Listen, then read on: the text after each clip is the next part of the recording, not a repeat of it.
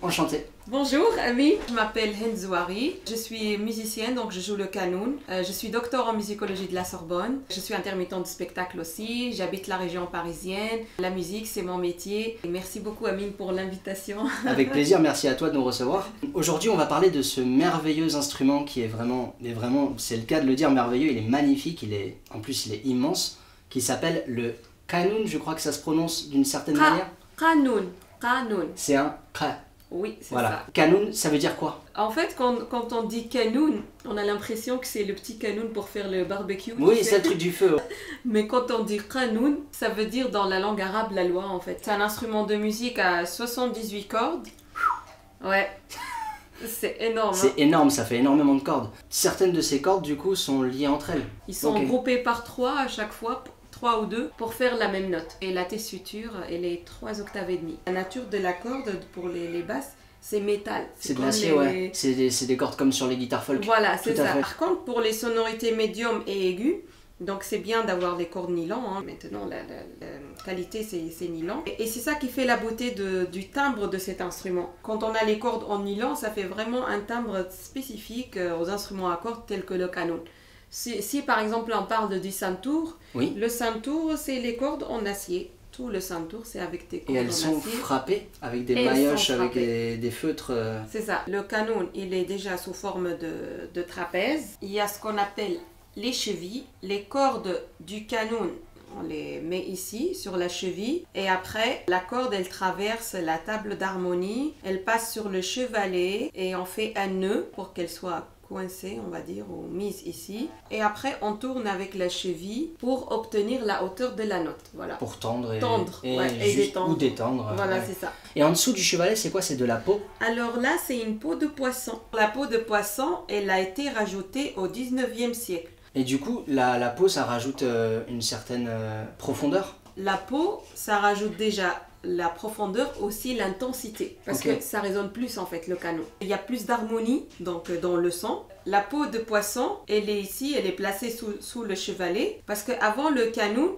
il n'y avait pas de peau de poisson. La table d'harmonie était constituée que du bois. Il n'y avait pas ni scie métallique, ni la peau de poisson. Et du coup, ça rajoute de la complexité parce qu'avec ces leviers, notamment, c'est ça qui, pour moi, fait euh, vraiment le son de la musique orientale. Ces leviers, quand tu les soulèves, quand tu les titilles, un Mm. peu, je dirais même, Mmh, je sais pour pas c'est quoi le terme vibrato, exact, ouais. Mmh. faire le vibrato, ça fait vraiment le vibrato classique de la musique orientale. Genre, c'est vraiment. euh, Oui, c'est ça. ça. qui donne la, le son spécifique du canon, c'est ce levier-là. Alors, Mais- pas que, parce qu'il y avait bien des joueurs de canon, par exemple, qui jouaient avec euh, Om Kaltoum à l'époque. Ouais. Et ils jouaient avec des canons où il n'y a pas de Pas de levier. levier, mais alors comment il faisait le vibrato? Avec le- l'angle, avec le doigt. Avec. Par exemple, au lieu de faire. Ouais. Ah, d'accord. C'est le, le même, euh, la même chose.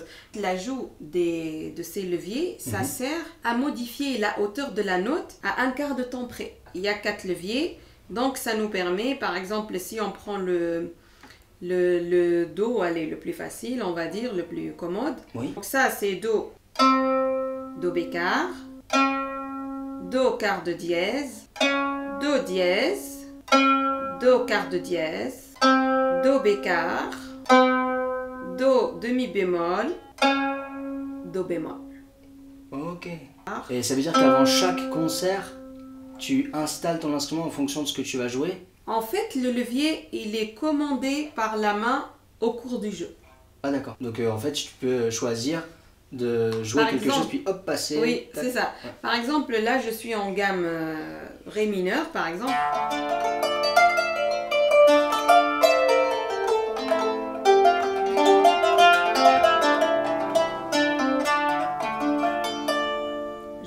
En Ré majeur.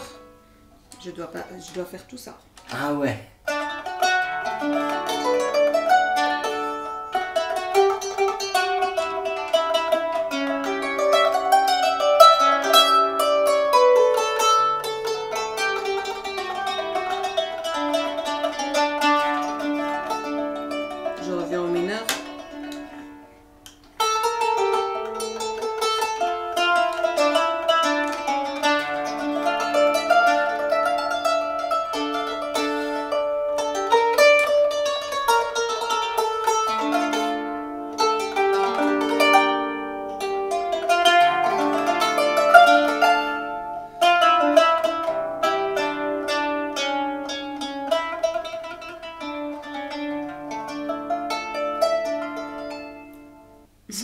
Fou, c'est que tu es arrivé à changer totalement euh, Oui. de ton en faisant très vite à la fois, en jouant et avec en plus un mouvement joli. Donc pas, tu vois, Oui, oui, vraiment, bien sûr, ça va fluide. avec comme le mouvement de la harpe. C'est vraiment, c'est fou parce que tu es arrivé à baisser 6, 7, 8 leviers. Pourtant, un auditeur qui aurait fermé les yeux ne t'aurait pas vu changer ça, il aurait Oui. pensé qu'il y a toutes ces cordes sur ton instrument. C'est ça. C'est dingue, c'est ça qui est incroyable.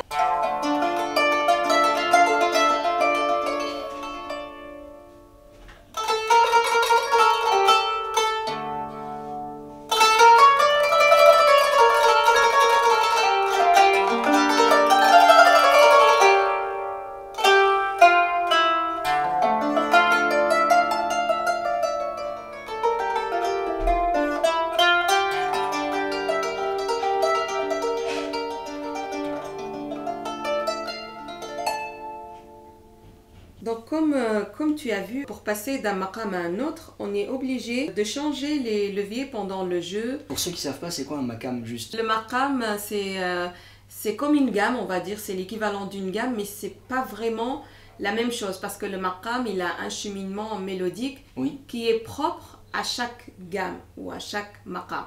Donc le maqam, il est défini par une échelle, une hiérarchie des degrés, une superposition de, de, de jin, c'est ce qu'on appelle des tétracordes, euh, des phrases bien déterminées qui, qui identifient et qui déterminent le, le maqam en fait. Donc là, pendant, pendant le jeu, je suis passée du, du maqam euh, majeur au maqam mineur. Et en faisant le passage, donc le, le musicien, il est obligé de, à chaque fois, sa main gauche, elle doit euh, changer les, les scies métalliques. Sauf que des fois, ça cause un problème. Surtout au du moment où, par exemple, on joue une suite d'accords, par exemple.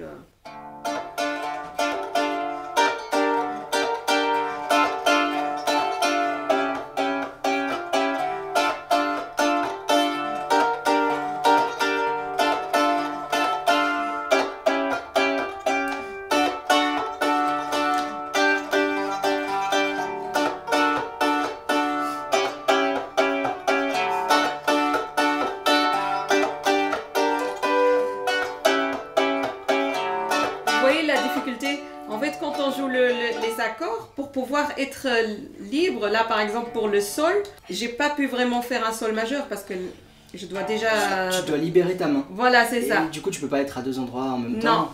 Je peux pas être à deux endroits en même temps et de là m'est venue l'idée de pourquoi pas automatiser le déplacement. Imaginer un système qui vient se poser sur, euh, sur l'instrument ici. Au lieu d'avoir quatre leviers, il y a un seul, mais qui est programmé et qui bouge suivant la programmation. Ok, donc retirer tous les quatre leviers de toutes les notes, en mettre un qui non, va on le- on le- oui, on les utilise pas, dire. Ouais, on les baisse, ou- Ok. voilà. Ok, et, et, et à la place mettre un levier indépendant, Qui bouge. automatique, Voilà, automatique. automatique. Et pour ça, tu, tu fais comment? T'as un- une, des Bah- connaissances en ingénierie ou comment Non, non, non, je suis bien sûr. euh, je travaille avec le laboratoire des ingénieurs de laboratoire ISIR à Paris. Mais c'est un travail qui est en cours de, de recherche, bien évidemment. Ouais. On a, on a déjà fait l'essai sur une note, ça, ça, ça a bien marché. C'est bien, note, donc c'est ouais. très, très prometteur. Oui. Moi, en fait, je vois l'é- l'évolution de cet instrument. Avant, Mm. il n'y avait pas de, de levier. Les techniques de jeu de cet instrument est toujours en évolution. Et je pense que le moment est arrivé pour que le, le- le joueur de canon il puisse euh, interpréter plus d'harmonie. Il, il peut avoir plus de richesse harmonique. Au lieu qu'il gère ici dans toutes les octaves euh, une note à baisser ou à descendre, Oui. il appuie sur une touche ou sur une pédale Oui. et ça monte automatiquement. Ouais. Comme ça, la main gauche, elle est toujours en Donc place. tu ferais ça avec tes pieds du coup?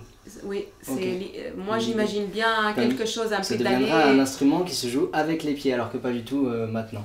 La commande des leviers avec La les commande pieds. des leviers, oui, bien. L'accord, on va dire. Ouais. Si on passe de Do majeur à Do mineur, on appuie sur, le, sur un truc et hop, les, les trucs ils vont tout seuls. Ce serait ouf. Tu t'embêtes moins. Ouais. Et du coup, elle va pouvoir faire les vrais accords en temps réel. Au lieu de faire que la tonique et la quinte, elle peut faire les, les tierces, elle peut faire même les septièmes. hein. Et pas biaiser ton accord pour t'accorder à côté. C'est ça. Parce qu'après, super. on se trouve limité quand même. Si je suis sur une gamme, euh, on va dire euh, espagnole un peu, par exemple.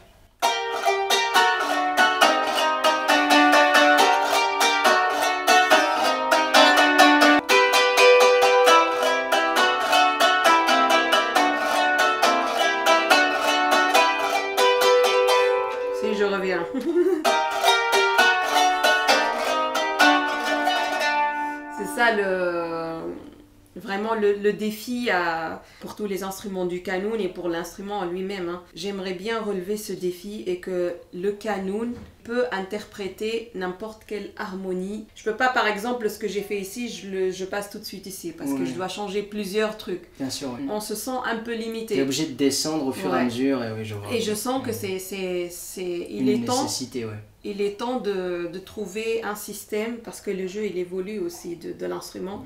Il est temps de trouver un système plus moderne qui permet à cet instrument de jouer plus de possibilités harmoniques. Appliquer l'électronique directement sur l'instrument, plutôt qu'après. Ouais. Oui, c'est ça. Ouais, félicitations. C'est une belle perspective d'évolution pour l'instrument. Tu rends bien honneur à l'instrument en faisant, en faisant un truc comme ça, donc euh, bravo. Merci. Et j'espère que ce projet euh, portera ses fruits Oui, et que les canons du futur. Ah là là, je l'espère bien, franchement. Qu'est-ce que c'est ça? Alors ça, c'est une clé. Comme une mécanique de guitare, Oui, mais détachée quoi. pour tendre et détendre la, la corde. Et avec ça, tu tournes chaque cheville, une par une du coup. Oui. C'est un travail de titanesque pour accorder l'instrument du coup.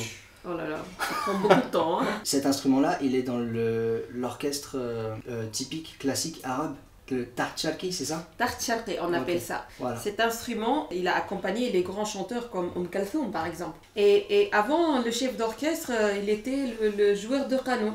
Ah, d'accord. C'était presque d'une façon automatique. C'est pour Oui. ça, la loi, pour La ça loi, voilà, Ouais. c'est ça. Les instruments, ils s'accordaient tous sur le canon. Comme dans un orchestre occidental sur le, Piano. sur le piano ou sur le hautbois, je crois. Ah. C'est le hautbois qui donne le la. Ah, ok. Mais le piano aussi peut servir de- de- d'accordeur. C'est vraiment un instrument primordial. Ah de oui, la- C'est un instrument très très très important. Il a une très grande place dans l'orchestre charqi. Tartcharki, ça veut dire quoi exactement? Tart, c'est le, le groupe, on va dire un groupe de musiciens composé de, de 4 ou 5 musiciens. Et c'est des solistes, on va dire. Ok. Voilà, Tart Charqi. Charqi, c'est oriental. Je sais qu'on peut jouer de beaucoup de manières avec le canon. Déjà, est-ce que tu peux nous expliquer c'est quoi ces, ces choses avec lesquelles tu joues sur tes doigts? Est-ce que c'est des onglets? On a les bagues, ça. Ça, c'est les bagues. Donc c'est juste une bague. Tu mets une bague comme ça. Voilà, tu mets une bague sur l'index, chaque Mhm. index. Et après, tu mets le plectre Dans la bague. ici et ici. Ok. De manière traditionnelle, on va dire le canon se joue euh, à l'unisson.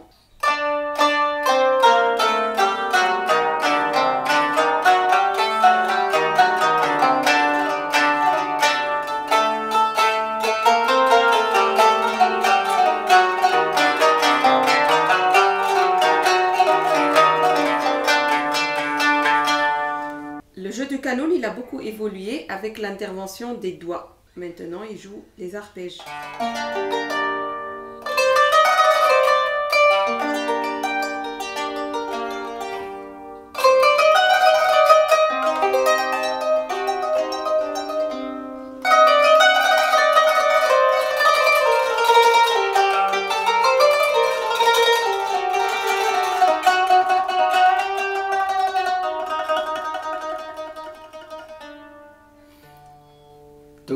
Avec la bague et le plectre garde euh, son rôle de taper la corde euh, comme il le faisait avant, mais Oui. en plus on rajoute tous les autres doigts qui peuvent venir. euh, L'accompagnement, en accompagnement. ouais. Exactement. Et alors là, ça fait possibilité infinie parce que sur 78 cordes, C'est ça. ouais. Est-ce que tu peux faire des effets avec ces plectres? Tu peux faire des. Une sorte de trémolo avec. voilà, euh, genre de tremolo. mhm. Tu peux jouer euh, comme ça.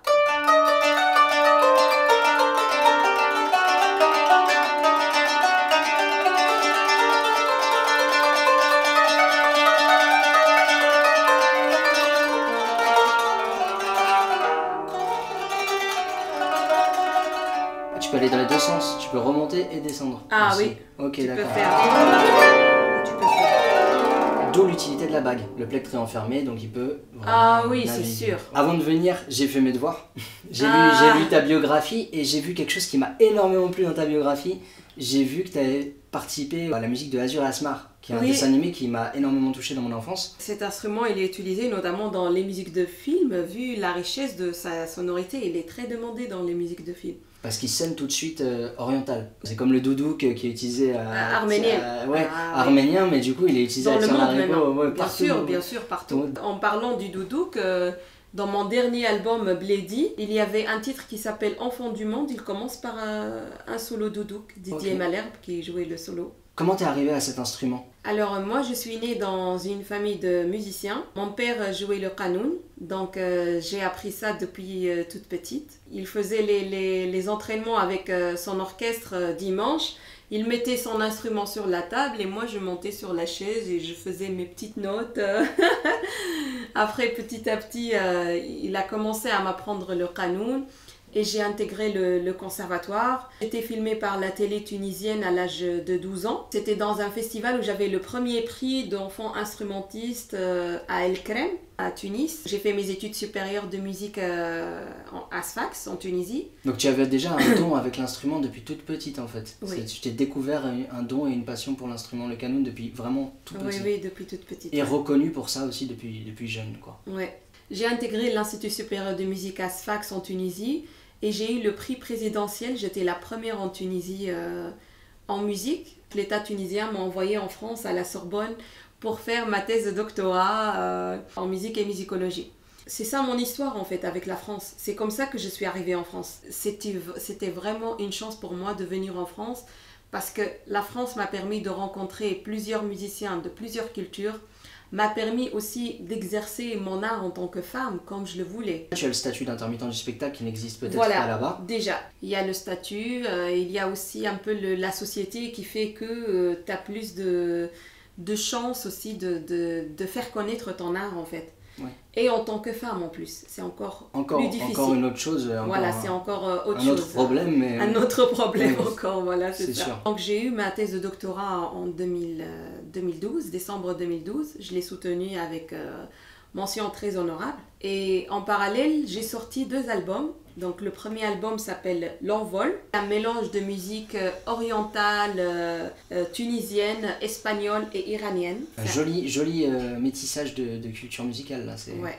J'ai ouvert euh, les yeux sur d'autres cultures, quoi. la richesse musicale. La des- richesse ouais. musicale, ouais. Et Et, des- je et pense, instrumentale aussi, euh. ouais, je pense ça, ça m'a beaucoup aidé pour développer un nouveau style à cet instrument aussi. Oui, tout à fait, j'imagine bien. Tu Mm. t'es inspiré de ce que tu entendais. C'est ça. Ouais, ouais. ok. Le deuxième, il s'appelle Blady, donc il est sorti en 2017. Dans cet album, c'est plutôt un style pop rock oriental. Je vois pas pourquoi hein, le canon il reste que dans Oui, la. Rachidia, le Malouf. euh, non. Voilà, c'est ça. S'il vient de là, il vient de là, c'est bien de connaître ses basiques. bien et c'est en connaissant les basiques qu'on après on explore. euh, C'est ça, explorer tout autre chose reste, pour, ouais. pour encore ramener vers l'international, cet instrument vers l'international quoi. Tout ça pour arriver à aujourd'hui. Et euh, du coup, aujourd'hui, quels sont tes différents titres? Du coup, tu es Kanunji, c'est comme ça? Kanunji Ya Kanunjia faut, mettre, faut accorder, bien sûr. Exactement. D'ailleurs, ça me fait venir une question il y a beaucoup de femmes qui jouent de cet instrument ou c'est. Il y a des femmes qui, on va dire les femmes de- qui jouent de manière professionnelle, je pense que c'est un peu rare, ouais. Est-ce que tu pourrais nous jouer un morceau de ta composition? Oui.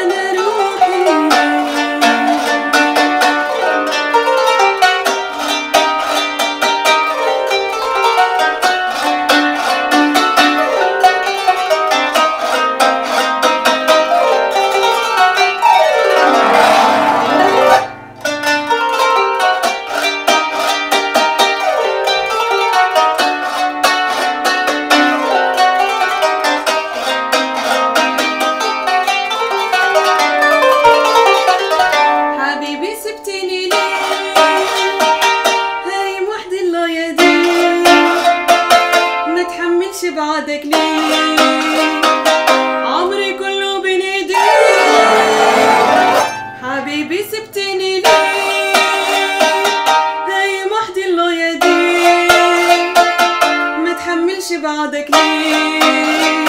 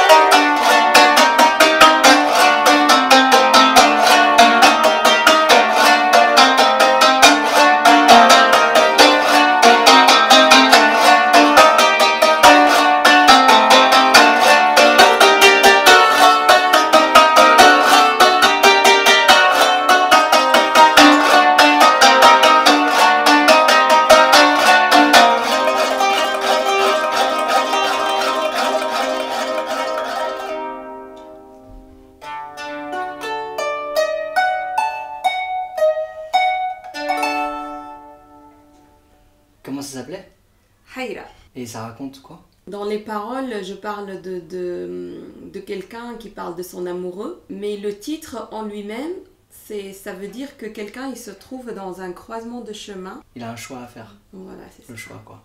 J'ai ouï dire que tu étais une artiste engagée Oui, dans l'humanitaire. Est-ce que tu peux nous en parler un peu plus? Moi je suis la présidente de l'association de la rue à la Seine. Euh, cette association, elle a été créée en 2017 par euh, Yves Pontonnier. Avec cette association euh, et avec les bénévoles, on offre quatre repas par semaine euh, sur la ville d'Ivry-sur-Seine. Et là, on, est- on sera bientôt à notre 900e marotte. Eh ben dis donc, c'est pas rien. Félicitations, c'est un bel engagement. Ouais, J'adore. Parce qu'apporter de, de l'aide à des gens qui, qui en ont vraiment besoin, Ouais. tu, tu sens que tu fais quelque chose d'intéressant dans, dans la vie en fait. T'es t'es utile euh, Oui. à la communauté humaine quoi. Bah félicitations pour ça. Merci, merci. Je pense qu'on a pas mal exploré autour de, de l'instrument. Merci de m'avoir reçu pour, euh, pour parler de cet instrument, il est vraiment beau. Et euh, encore bravo pour euh, ce dont on a parlé au début de vidéo, c'est-à-dire le système euh, informatisé à- avec pédalier. C'est Oui. vraiment impressionnant, c'est une chose, tu vois, je m'étais même pas passé, ça m'était même pas passé par l'esprit. Mm. C'est vraiment impressionnant d'avoir lancé une démarche comme ça, donc euh, bravo pour ça. Merci, merci. J'espère que bravo, ça va euh, voir le jour le, bientôt, le, le projet. aussi, tout à fait. Automatiser l'accord pendant le jeu, c'est quelque chose, euh, Mm. je pense qu'on en a vraiment besoin, les joueurs de canon. Et on vous tiendra au courant de s'il a été mis en place, parce que c'est vraiment un truc... Ah euh, oui, on fera un autre important. Voilà, c'est ça. Ah, avec grave. les ingénieurs Non, mais super, ah, mais vraiment, euh, avec plaisir. Merci pour tout, Enz. Avec plaisir, merci. Toutes les informations sur Enzwari sont en description de la vidéo. Si la vidéo vous a plu, évidemment, n'hésitez pas à le dire dans les commentaires, à poser vos questions. N'hésitez pas à vous abonner, à suivre la chaîne sur Instagram, sur YouTube. Comme je vous ai dit, tout est en description. N'hésitez pas à aller euh, écouter ça sur les plateformes euh, de streaming. Merci à tous.